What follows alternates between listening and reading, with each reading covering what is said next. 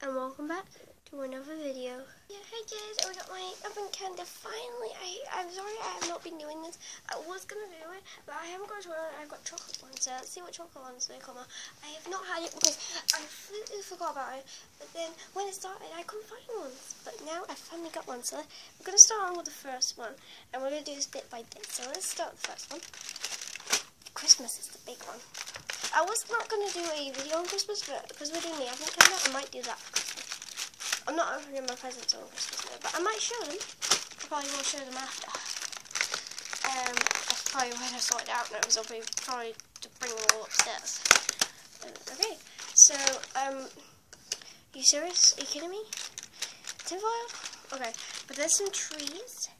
Oh, it's a nice little picture right there. Stand that back up. Can I have my chocolate, please? No? Thank Oh, thank you. There we go. Rip it open. Rip it open. Pop it out.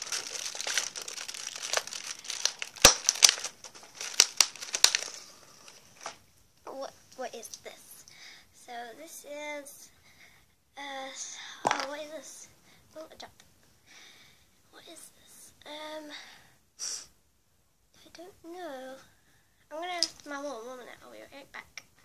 Okay, I'm back. My mom said it probably could be a bauble, but let's try.